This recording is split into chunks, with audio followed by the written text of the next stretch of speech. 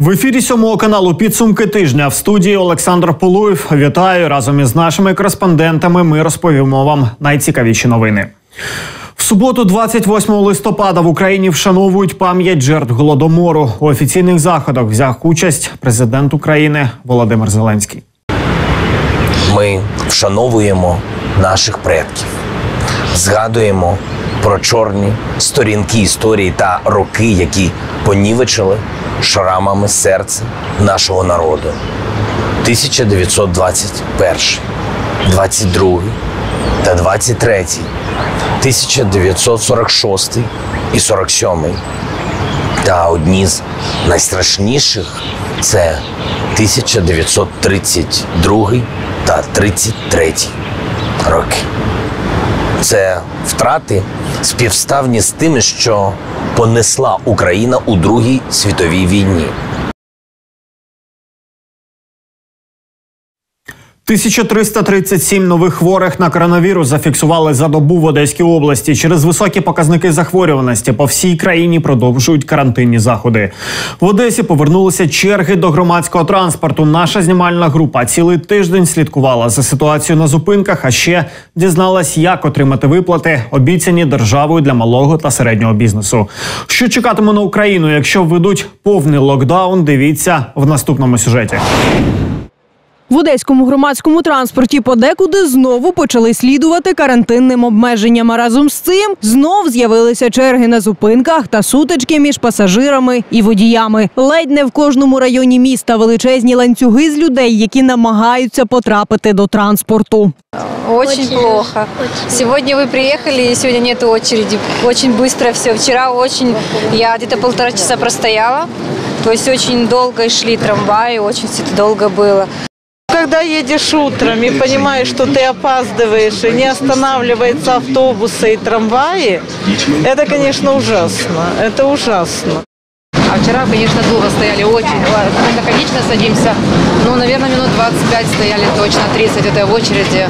Он уже там тоже нервный был уже. Ну, так все понимаем, конечно, но чуть-чуть бы больше транспорта, чтобы быстрее людей забирал бы. Та навіть попри незручність, більшість одеситів ставляться до обмежень із порозумінням. Ну, а представьте себе, что если на- набить нас как селедки, как вот мы раньше ездили, да, такое время, то больше будет заражаемость. Даже если мы все будем в масках, все равно это не будет спасать. Должна быть обязательно дистанция какая-то между людьми. А, Ребята справляются, мне очень нравится, как они работают, запускают много маршрутов, и это так кажется, знаешь, много очень людей, но трамвай быстро забирает людей из-за из количества вагонов. Ребята работают классно, реально. Самі ж працівники Одеськ-міськелектротрансу вже настільки звикли до обмежень, що просто ставляться до всього з позитивом. Если человеку нормально объяснить, все, все понимает. Как вы зашли, я говорю, мальчишки, Да все нормально, все хорошо. Дай бог, может закончиться этот карантин когда-нибудь. Скажите, я понимаю, сейчас больше вагонов вывели на маршруты, да? Да, увеличили выпуск, э, сократили интервалы, поэтому стараемся.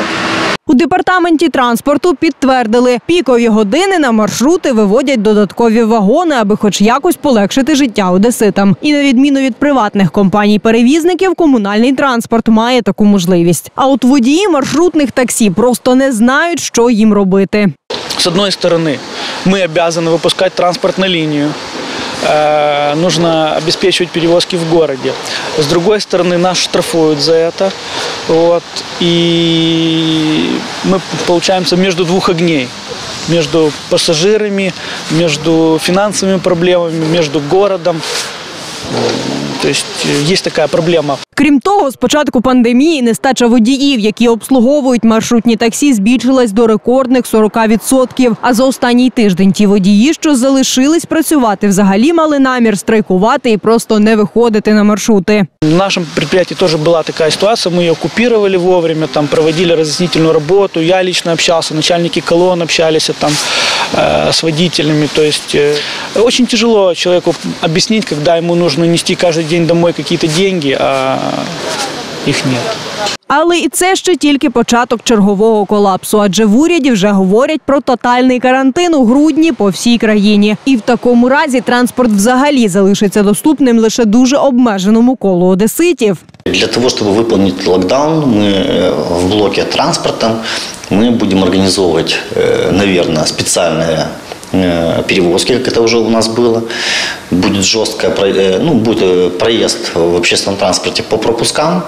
У нас не- непосредственно, вы помните, э, что в основном пропуска выдавались предприятиям, от которых зависит жизнеобеспечение города. Это медицинские учреждения, это в том числе торговые э, учреждения, это стратегические предприятия, например, там Одесская железная дорога, порт и так далее, и так далее. А от всім іншим підприємцям у разі чергового локдауну доведеться не солодко. Якщо в березні цього року влада не мала відповідного механізму контролю, то зараз все інакше. Лише за порушення карантину вихідного дня одеські поліцейські склали ледь не чотири сотні протоколів. Сам же міністр внутрішніх справ України радикально налаштований до локдауну. Необходимо вводить локдаун а, как можно быстрее, действительно продолжительностью 3 или 4 недели. Не нужно об этом прятаться за политическими лозунгами или за какими-то удобными фо- формулировками, потому что речь идет о очень системных больших рисках для здоровья наших людей. Якщо введуть повний локдаун, то нелегко доведеться і підприємцям малого та середнього бізнесу. Постраждали вже крамниці, невеликі виробництва та готельно-ресторанний бізнес. Для цієї категорії підприємців уряд передбачив виплати від центру зайнятості. І, хоч вони не перевищують мінімальну заробітну плату, та вже майже 13 тисяч мешканців Одещини звернулися за їх отриманням з початку квітня. Отримати цю допомогу по частковому безробіттю можуть роботодавці, які відносяться до суб'єктів середнього та малого бізнесу. Вони можуть отримувати допомогу, яка передбачається для виплати допомоги по частковому безробіттю їх працівникам. Для цього необхідно звернутися до центру зайнятості за місцем реєстрації їх як платника єдиного внеску. Е, Безперечною обов'язковою умовою є сплата ЄСВ за попередні 6 місяців, які передують даті звернення.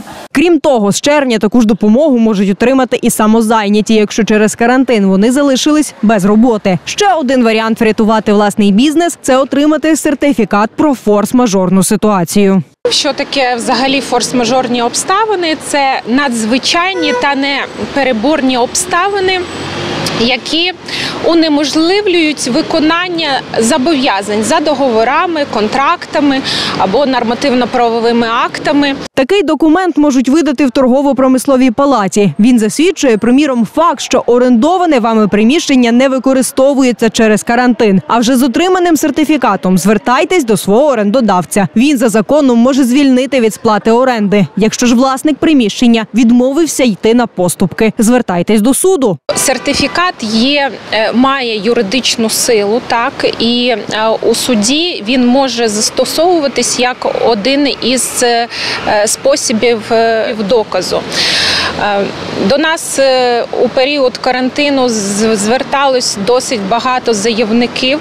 Але на жаль, ми зіткнулися з такою проблемою, що вони не зовсім розуміли, що, що таке сертифікат, е, для чого він їм потрібен. Тож важливо розуміти, сертифікат про форс-мажори не гарантує вирішення фінансових проблем, лише служить підставою для нових домовленостей з власником приміщення. Івана Герсимчук, Денішевський, Анастасія Крічко, Олексій Філіпов. Підсумки тижня, сьомий канал.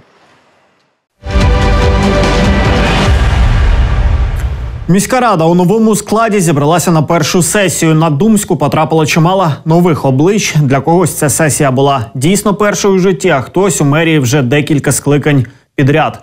Але перше засідання не настільки значуще, як те, що відбуватиметься далі, адже згодом депутатів мають розподілити по комісіях, а ще обрати секретаря міської ради, який може мати не менший вплив ніж сам мер. Чи будуть Палкі протистояння та бійки, про кого вже знімають замовні сюжети опоненти з новообраними та вже бувалими депутатами спілкувалася Ксенія Сітінська. Міська рада вперше зібралася у новому складі. Тепер мерія рівно наполовину складається із нових облич. У депутати потрапили громадські діячі, підприємці, викладачі, представники різних сфер. Наприклад, Олексій Асауленко багато років як журналіст допомагав одеситам вирішувати комунальні проблеми. Это как в школу всегда на 1 сентября, наверное, первый раз с хорошим настроением в ожидании того, что будет все хорошо.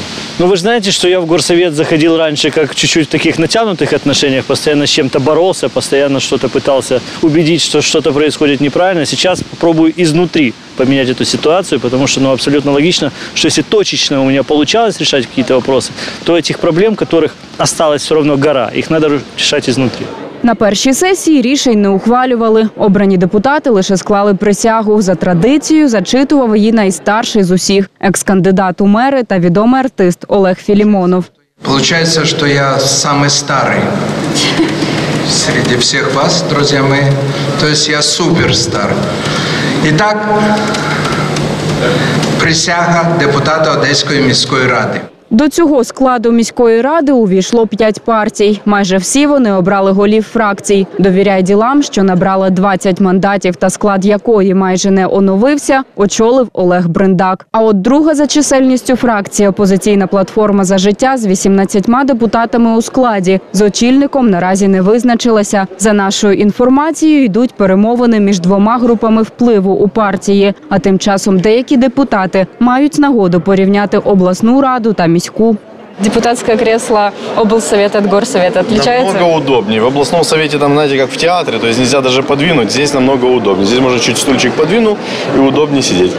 Провели тест-драйв, оценили. Да, но это если с технической точки зрения. А с практической, то есть если, если говорить о, э, что такое депутат горсовета и облсовета, действительно большая разница, потому что в городе живет э, очень много людей, то есть большинство э, наших э, избирателей. И здесь большой бюджет, здесь большая ответственность, много проблем, много работы. До складу депутатського корпусу ОПЗЖ увійшов також начальник міського управління ДБК Олександр Авдєєв. Мы будем просить больших полномочий, которые мы никак не можем добиться. И про эти полномочия я не раз говорил и вашему каналу, и другим каналам, что ГАСКу необходимо городскому децентрализироваться, отдать те полномочия на места, которых нет. По тому же классу последствий СС-3. И в связи с тем, что наконец-то, э, скажем так, стал депутатом, я надеюсь, все-таки у нас появится лобби, и мы этого добьемся. По 10 мандатів отримали партії Європейська солідарність та Слуга народу. До речі, останнє у міській раді вперше від слуг головою фракції обрали керівника банку Восток Вадима Мароховського. А от Євросолідарність це по суті ребрендинг блоку Петра Порошенка. Фракцію очолив колишній секретар міськради Олексій Потапський. Обидві партії теж мають нові обличчя. Шість мандатів також вперше у міській раді отримала партія Шарія. Фракцію очолив Ілля Фрейман. Тож тепер розклад політсилу мерії має ось такий вигляд. Нове скликання зібрало полярних у поглядах людей. Експерти, журналісти та й самі депутати прогнозують подекуди запеклі протистояння. Вы знаете, я честно вам скажу, вот в областном совете у нас больше демократии было. Здесь присутствует хамство, здесь присутствует, э, ну, что-то такое, знаете, не совсем дипломатичный, э, дипломатичный язык. Но я более чем уверен, э, в этот созыв будет другой, потому что зашло очень много депутатов, которые за словом не постоят. Вот эти вот разговоры, которые мы слышали предыдущие пять лет, которые позволял себе даже городской голова, их больше не будет. Поэтому мы действительно настроены на борьбу, мы будем в оппозиции к действующему городскому голове.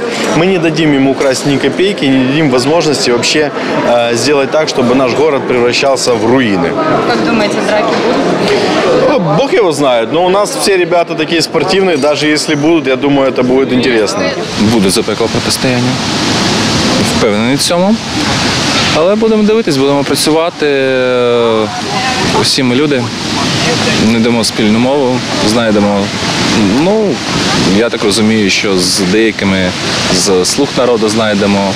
А Про мене є замовні сюжети. Я, наприклад, написав е, звернення до віцемера Підгайнова, що потрібно встановити тендер е, по Черняховського, тому що там не, немає велодоріжки в проєкті. Що потрібно зробити проєкт з велодоріжкою і проводити тендер вже з велодоріжкою. І один телеграм-канал написав, що в мене є там інтереси, що я хочу ремонтувати цю дорогу сам і щось таке.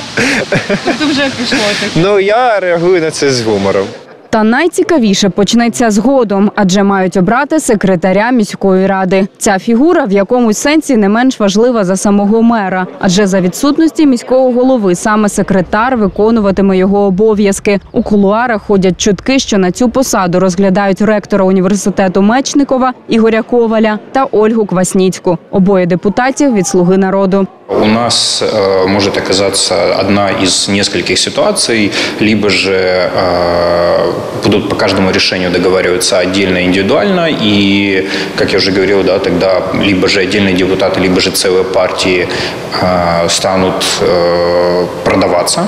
А второй вариант – это же когда у нас начнется действительно обсуждение и своеобразная вот, э, политика в том виде, в котором она должна быть, что договориться у них не будет получаться, поэтому им придется находить постоянно компромисс. И есть третий вариант, когда может просто оказаться кризис власти, когда одни не хотят, а другие не могут э, вследствие того, что недостаточно голосов для принятия того или иного решения. Депутатів також мають розподілити по комісіях. Від цього залежатимуть ключові для Одеси рішення, як от передання земель приватникам, розподіл бюджетних коштів тощо. Ксенія Сітінська, Олексій Філіпов, Денис Ларко. Підсумки тижня. Сьомий канал.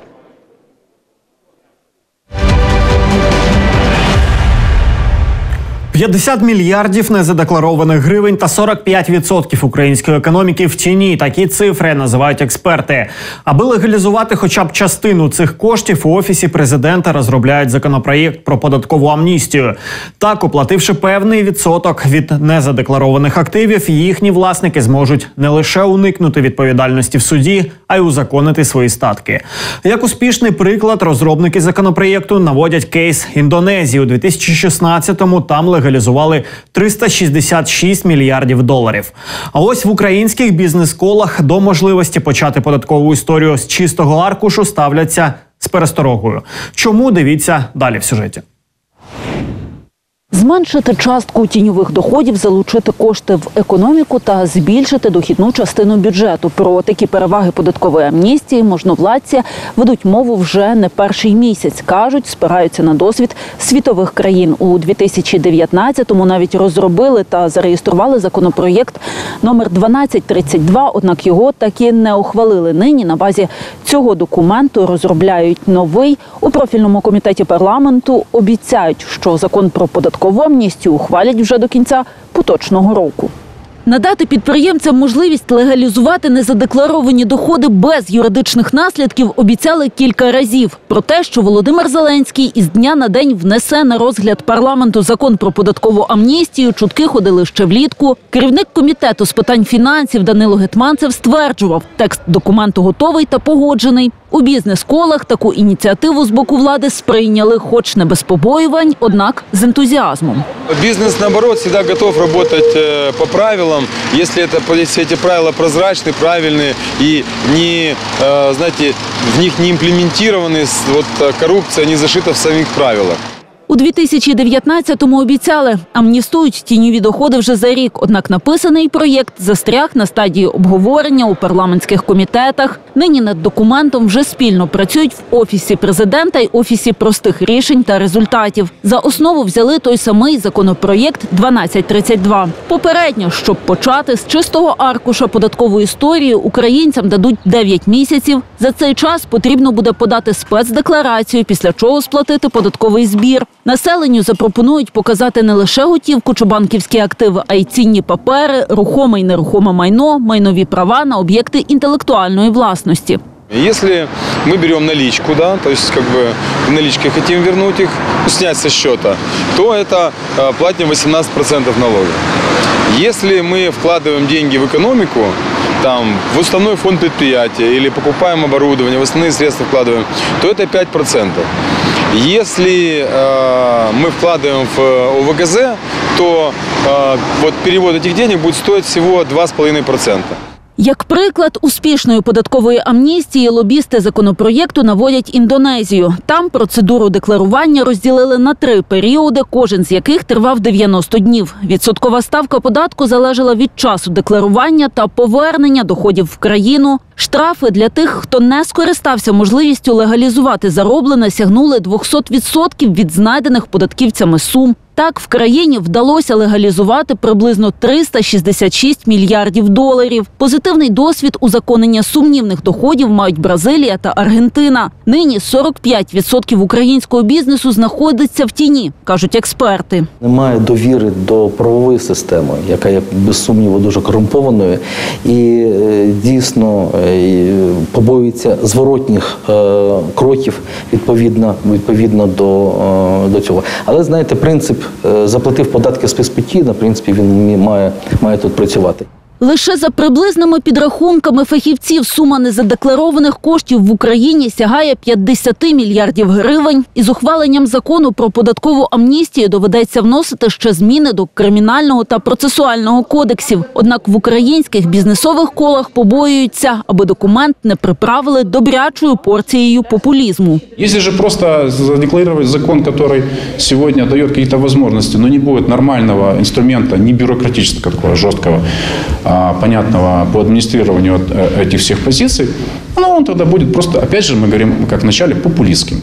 Економісти кажуть, ухвалення закону про податкову амністію сприятиме формуванню сталої правової системи. Крім того, це стане в нагоді розвитку економіки та підприємництва країни. Фахівці зазначають, у разі затвердження документу це буде своєрідний поворот держави в сторону бізнесу. Для цього потрібно е, зробити е, небагато, але дуже важливих кроків. Це повернення, звісно, повернення е, коштів, рекапіталізація, тобто повернення коштів із офшорів до, до України. Для цього кілька вже законів серйозних прийнято, і вже з 2021 року е, буде вже фактично невигідно працювати в цих напрямках. Це один з кроків. Ну і другий крок це можливість послаблення якраз відповідальності.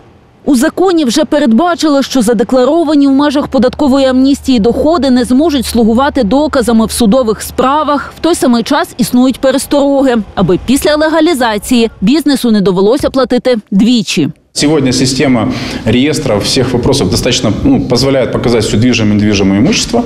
Вот, я его показываю, легализую. Мне по этому вопросу не надо будет заплатить скрытые проценты, скрытые комиссии, скрытые там какие-то вопросы.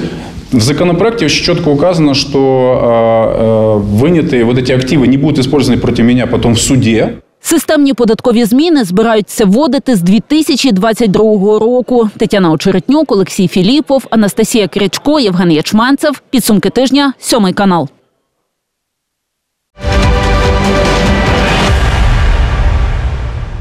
Ціни на продукти в Одесі і області можуть збільшитись. Водосховища майже пусті, посуха б'є по всіх сільхозвиробниках. Через поганий врожай казна недоотримує гроші, а аграрії на межі банкрутства. З наслідками може зіткнутись кожен одесит у вигляді росту цін на крупи, овочі, фрукти і цукор.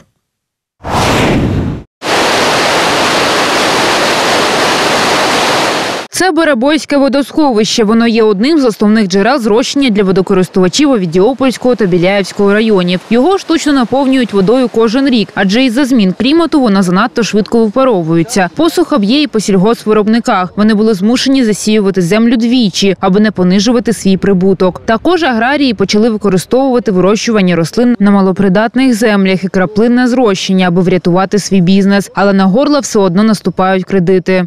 Е, Звісно, не розраховуються не за того, що вони не хочуть, а й за того, що немає можливості. Кінець року треба заплатити кредити.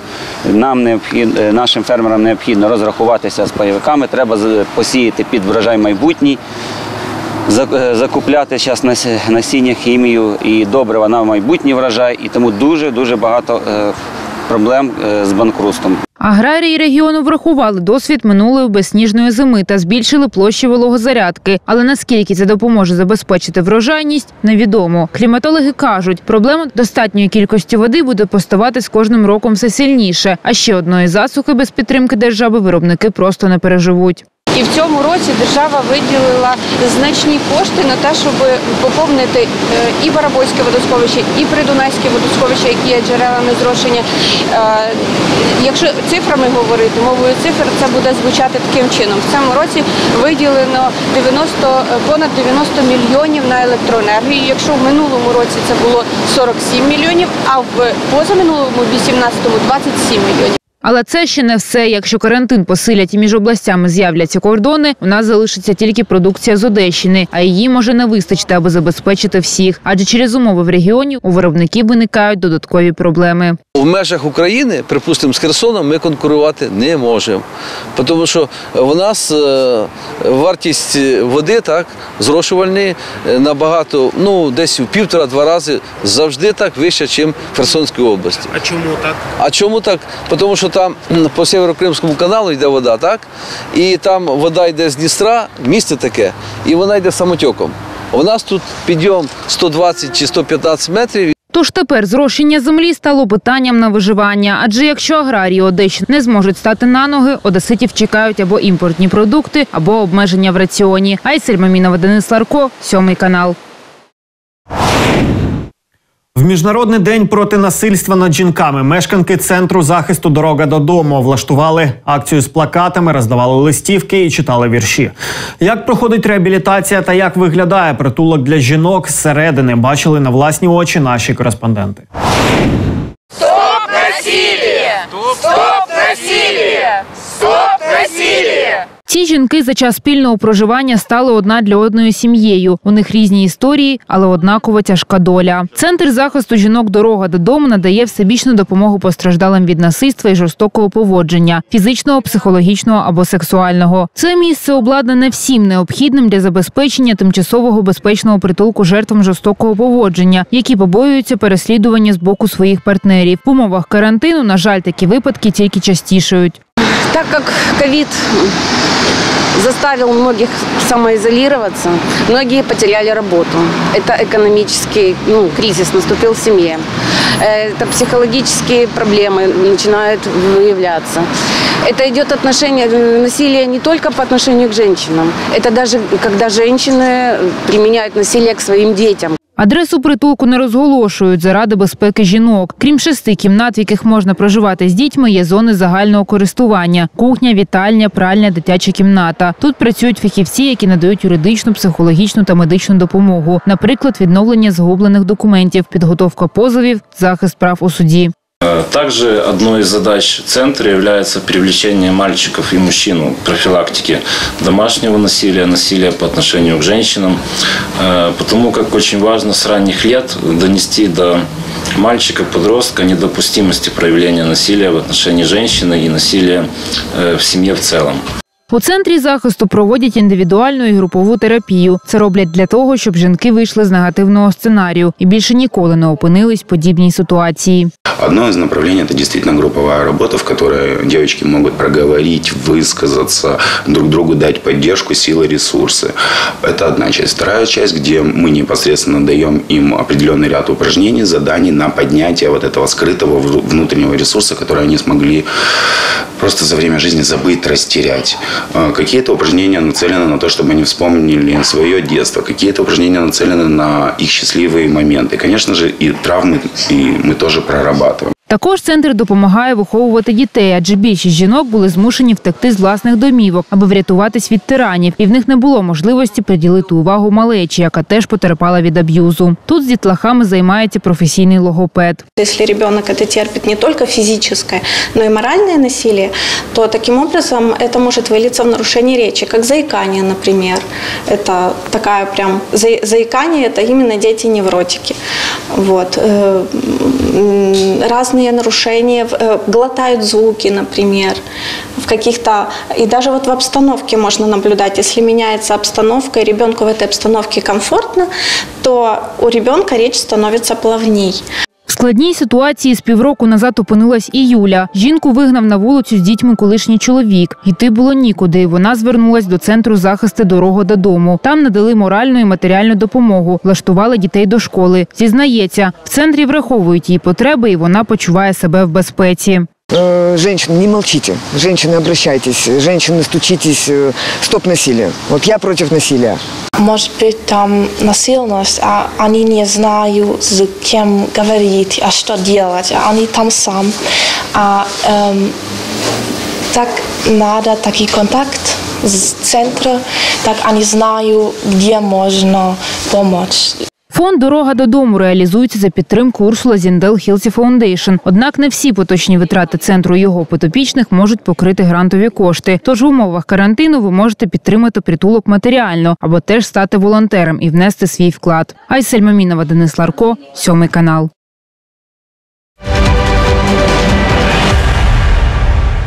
Вчителі, ветерани, політики та письменники. І це не повний перелік видів діяльності переможців щорічної премії ТОП 30 до 30. Як готувалися до церемонії наші колеги з англомовного видання «Київпост» та як вплинули карантинні обмеження, розповімо далі в сюжеті.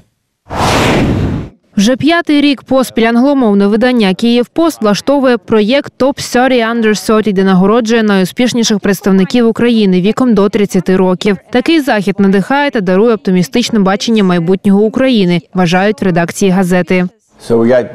Вони усі дуже різні, але після того як я прочитав про них, я можу сказати, що є декілька якостей, які властиві всім їм. Це талант, пристрасть до свого діла, амбіції та патріотизм.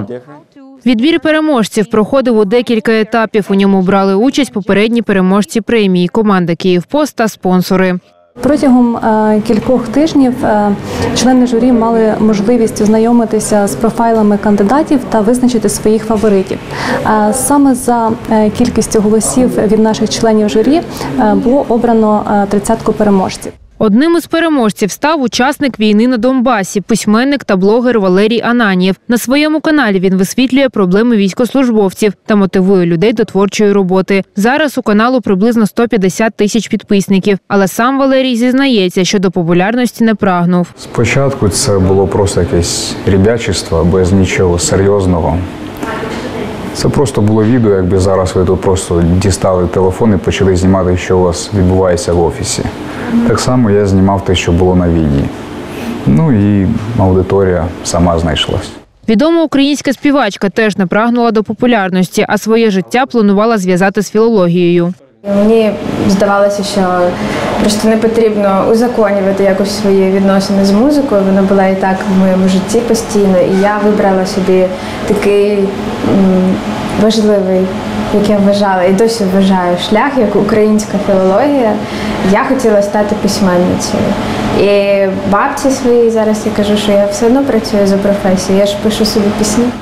Переможці проєкту не тільки з Києва, й з інших міст України. У нас є дуже багато е, переможців е, з регіонів, і от е, часто вони дивуються, коли стають переможцями нашого рейтингу, тому що, як правило, вони роблять зміни якісь в себе на місцях і думають, що на загальному рівні про них не знають. І от для них такі номінації є справді приємною несподіванкою. Саме церемонія нагородження проходила в студії «Київпост» з урахуванням всіх карантинних рекомендацій і обмежень. Я думаю, що для кожної людини, особливо для спортсмена, дуже важлива віра та підтримка. Тому ця нагорода дає натхнення рухатись далі е, і йти до нових перемог. Взагалі це дуже цікаво, що я сюди потрапив, і це дуже незвично і неочікувано. Бо коли я починав робити свій проєкт е, майже рік назад, е, то я не думав, що він е, стане настільки відомим і великим. І мені здається, це через те, що ми зібрали е, навколо себе гарних людей. Ось і то, що в нашого проєкту у кожного є своя муза. Моя зараз дивиться, посміхається. Крім того, дізнатись повний список топ 30 до 30 можна в останньому номері газети «Київпост». У нас була онлайн-трансляція. Переглянути її можна було на нашому сайті, ютуб каналі чи на Фейсбуці. Крім того, ми вели текстову трансляцію у Твіттері. Також ми випустили великий буклет про всіх переможців з усіма їх історіями. До того ж, вони будуть опубліковані на нашому сайті. Айсель Мамінова, Богдан Красавцев, Андрій Ярковой, сьомий канал.